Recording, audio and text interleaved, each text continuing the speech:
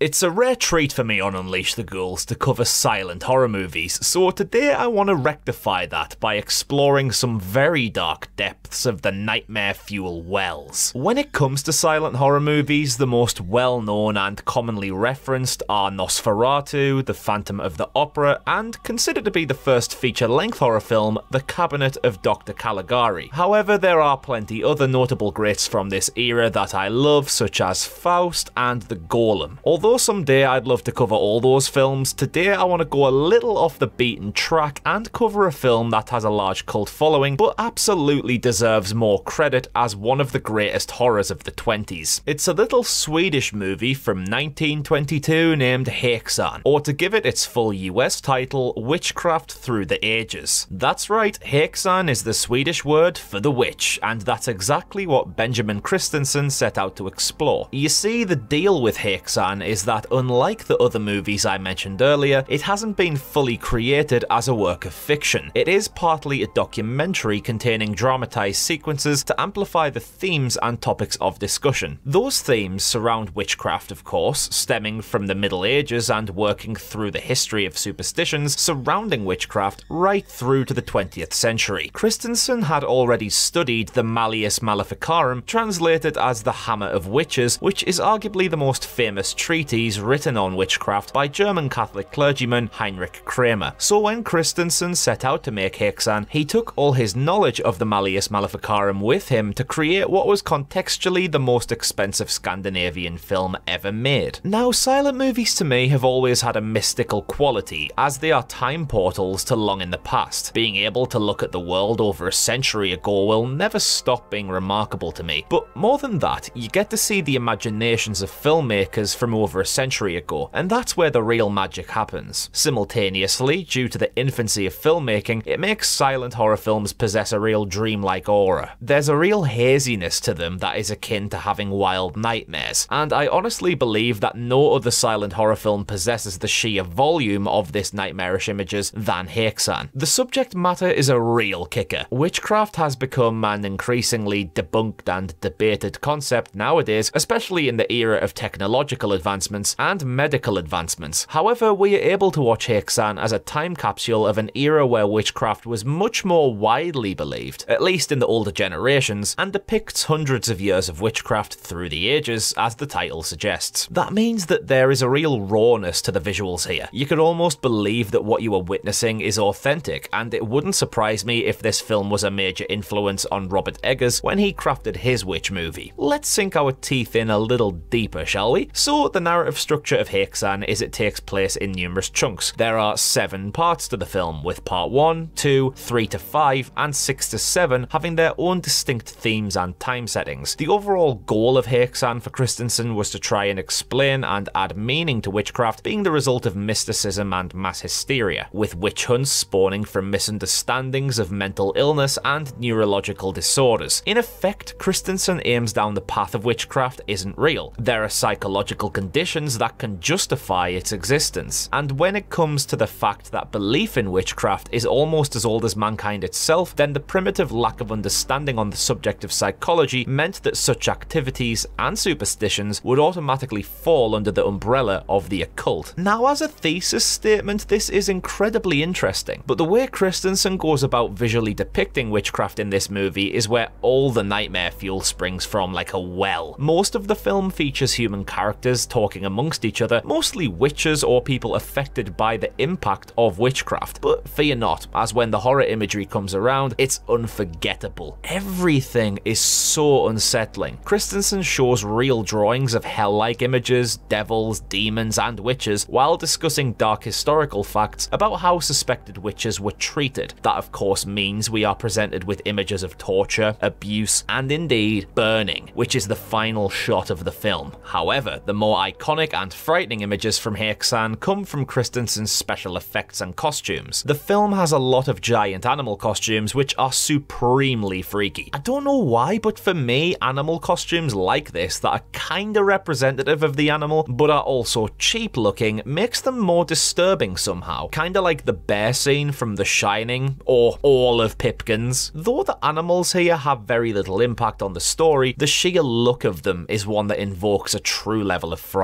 Other areas of scary imagery come from an early use of stop frame animation, which hugely fascinated me as a great fan of that animation style. As well, we get some visually impressive scenes of flying witches, we get some horrible prosthetic monsters that look like demons, and we even go as deep as having newborn unchristened babies cooked in cauldrons.